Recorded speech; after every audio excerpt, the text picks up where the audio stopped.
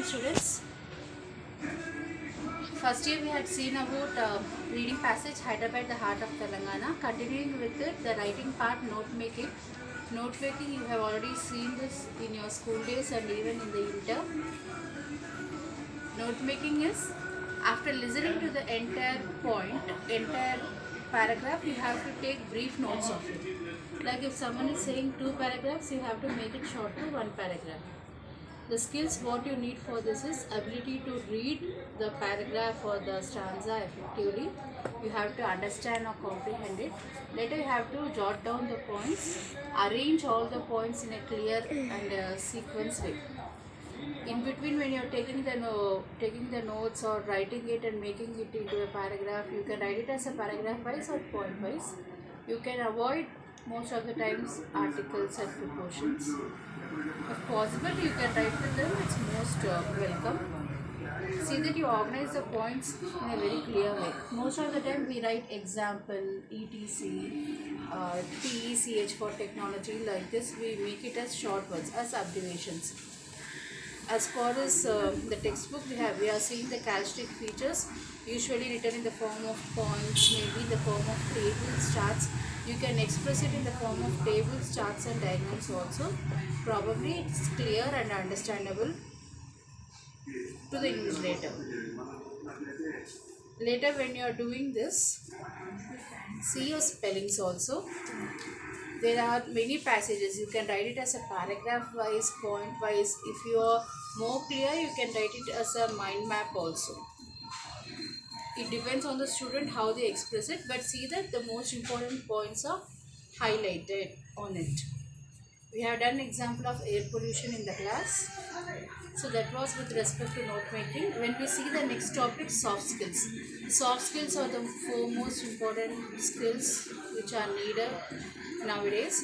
With respect to soft skills we are having time management time management is in our 24 hours how we are dividing our works. Everyone will have the same time rich or the poor. How they will divide the time for their works. For their professional works for their personal works. Personal life personal career is different. Professional life professional career is different. So how we divide time for the same is more important over here. When we see the time management time is constantly being divided both in our professional and private life. How you make the schedule and how you divide it daily uh, day wise or week wise month wise you have to set the goals and uh, you have to achieve the goal in this we also see how you manage the time. You can write examples of you like short term goals. If you remember we had seen long before short term goal long term goal. Same way time management how you divide your time. 8 hours sleep 9 hours work like that. If you generally mention this how long it takes on it is enough.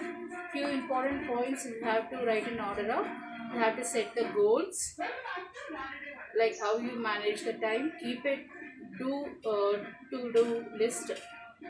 What are the things you have to do? Like if you are planning to go for a tour how you arrange your suitcase? You have to keep your toothbrush to dress to what all you have to keep. So that is keep to do list what all you have to do. Managing your distractions. In between when you when we are in some work some distractions will surely come how you manage your distractions. Will you give foremost importance to the distractions or to your work like watching television or going out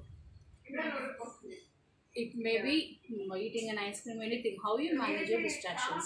And we have to when we are managing our time we have to remember to relax in between. So setting the goals keep to do list managing your distraction also relaxing for some time with respect to value orientation we have time and tide wait for no one. This is a proverb.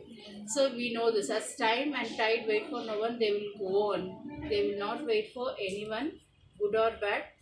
So at with respect to the there is there are many proverbs you can quote for this. Make hay while the shines uh, shines when there is opportunity you must use the opportunity. Then only we will succeed in the life. Like great people what they said dr apj abdul kalam former president of india what he said if you want to leave your footprints on the sand of time do not drag your feet. We have to keep our footprints and we have to do something so that people remember us but we should not drag our feet over there. Mother teresa what she said she said that yesterday is gone tomorrow has not yet come. We have only today. As we have only today let us begin. Let us do our work now.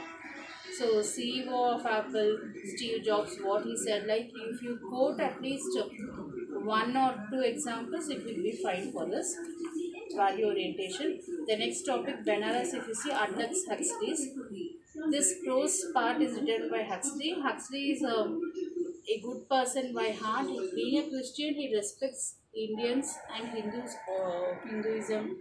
He likes Indians basically, but still, in this particular story, he like a satire. He is um, little bit of he's showing irony also towards Indians. How we are superstitious, we are religious, but still sometimes we become superstitious, and how we react with other people or with animals.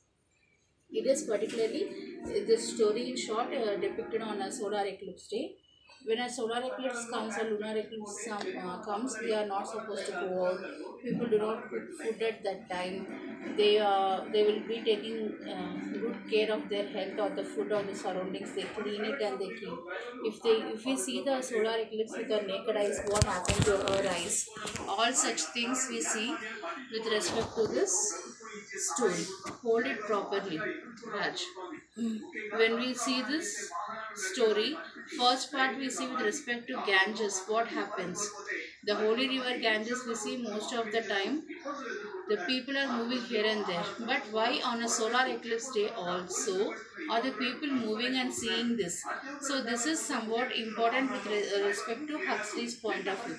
Later he also says that not only the common people the elders they we also see a group of small children also. That is a family who all such they come out. Why does the dragon try to eat over it?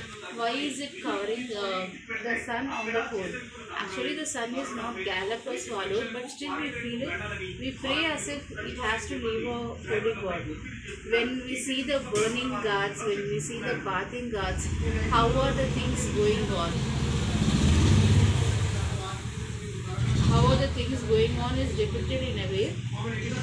Even the princess coming and seeing us in between, seeing the solar eclipse, she wants to take a dip. When she wants to take a dip, how are the people, her bodyguards covering her? Like the Huxley, the author wants to take a picture of the same, but he fe- he himself feels it's something bad, like a lady taking dip should not be covered with a photo shoot. And how we see Lord Krishna example, how he is moving in between the water and how the sun and moon and how the snake comes out and how the sun um, when the snake comes out the seven headed snake lord krishna dances on it all this are being uh, depicted like our puranas are shown little bit and people few people drink the same water split over there they cooperate few people take dip over there they don't take bath but they uh, take a dip so for the men, women, children, everyone are using the same place for this. So he says, Huxley says, West is West. Snapshots should be taken for few things, and for few places they should not be taken. And we also see the beggars. How the uh, place is very narrow, and how the people are moving here and there with the lots and lots of bundles and even luggage on their heads and on their hips. How are they walking? How is the position of beggars over there? Beggars are sitting on the corners, and how a bull comes over there. It is hungry. He first seizes the beggar. Later he sees that it's uh, the beggar is having a little bit of food with him on the bowl, and how the bull eats it off. It is all mentioned in a very clear and beautiful way.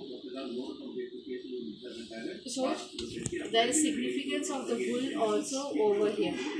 So with respect to this, we are seeing uh, the story is more or less, it is real story, it is more or less of superstitious beliefs, more than religious belief, according to Huxley. He does not want to say something bad or address it as, as bad, but still he says from his point of view. And finally, he says that if he is a rich person from the from our country that is India. Like if is an Indian millionaire, he will donate most of the money for the same. So with this we have seen a little bit about uh, Banaras also. Thank you.